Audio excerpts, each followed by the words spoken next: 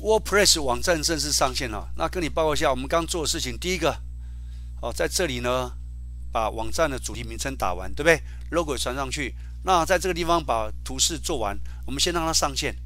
上线在哪里呢？就在设定标签这里，就点设定标签，这里，这里，这里，这个。那这个我们刚改过这个哦。哎，我们刚不是改过吗？在那里改，这里也通。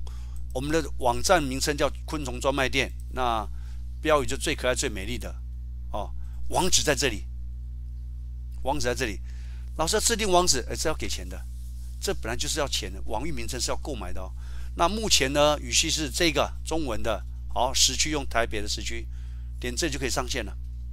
老师现在上线，别人不就看到了？没关系的，你的网站被别人看见没那么容易。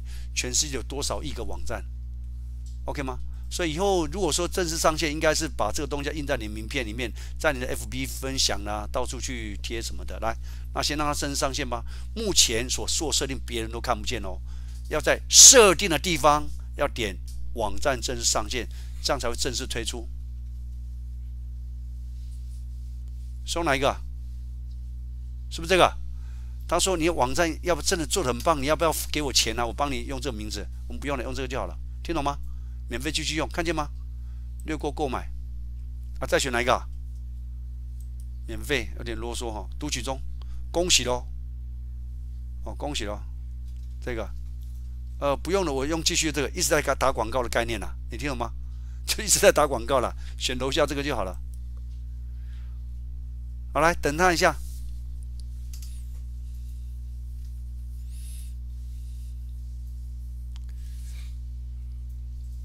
哦，出来了，那网站正式推出喽，所以我刚是让你做的，点了老半天，他一直叫你要购买的意思啊，其实就是最简单的说，其实点完这个，现在已经变成公开状态，你看见了吗？